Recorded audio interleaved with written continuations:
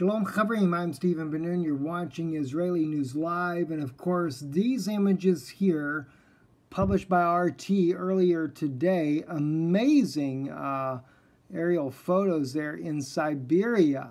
They're on Russia's northern border there, uh, taken that has really left a lot of people dumbfounded and in awe. And I know a lot of people that think, what, Planet X?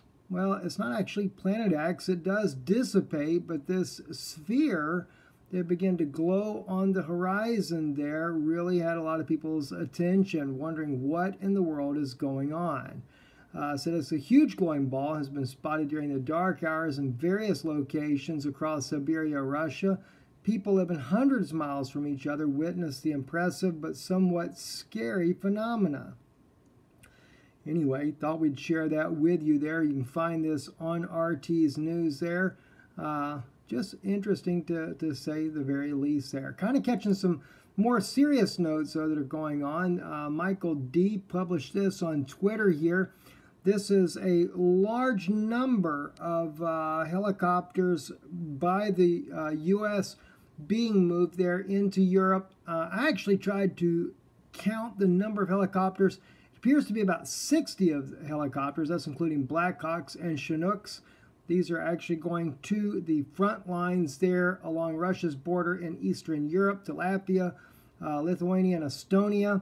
And, uh, and then also uh, our good friend Lorenzo from Already Happened publishing this article on his website. U.S. continues to deploy the military equipment in Europe, including the Apaches, the Blackhawk, the Chinook helicopters, and uh, just no seeming of letting down. This this uh, latest uh, movement of all this military equipment has been more so since the Zapad exercises that Russia did, uh, but the military presence alarmingly building up since the Cold War, and one cannot help but wonder if this is not in preparations for a bigger uh, military operation that could come in the near future. You can't help but think about uh, the famous words from Jesus in uh, Matthew 24 when it speaks about wars and rumors of wars. Uh, kingdom that uh, kingdom be against kingdom, nation against nation. Very troubling times that we are are, are living in. Uh, one other article here as well. I wanted to share with you here. This here protect American businesses from uh, blackmail uh, Congress passes the Israeli Anti-Boycott Act. United Nations Human Rights has really been pushing, trying to boycott businesses um, inside of Israel and around uh, the world there, says the United Nations Human Rights Council and UN Human Rights Chief are threatening companies in the U.S. and around the world for doing business with Israel. Monday, Maryland become the 23rd state to adopt an anti boycott rule. It is urgent for Congress to pass the bipartisan Israel Anti Boycott Act, a vital tool to prevent anti Jewish discrimination and protect American businesses from blackmail. A very troubling situation indeed. And um, when we see this boycott of Israeli businesses, for the mere fact that there are settlements inside the West Bank. You know, the thing is, there's been settlements for, for, for many years.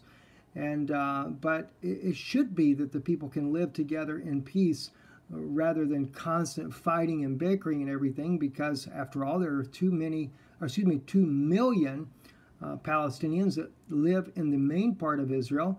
Uh, so what's the difference if you have that and Israelis living inside the West Bank? Now I do realize that there is in contentions over who the land belongs to and so I would have to argue as well that Israelis, the land should be purchased before just up and making settlements. So, like I said, there is two sides of the story. And so I do understand that and try to keep that in mind.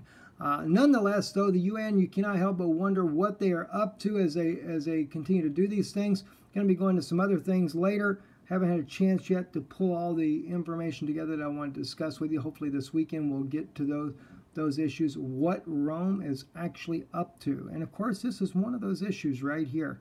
There's a major movement right now, though, of uh, unity, bringing back together all the churches together with Rome. Big push for that, and some very interesting insights that was sent to me privately that I want to share with you as well. I'm Stephen Ben-Nun. You're watching Israeli News Live. See you this weekend. Shalom.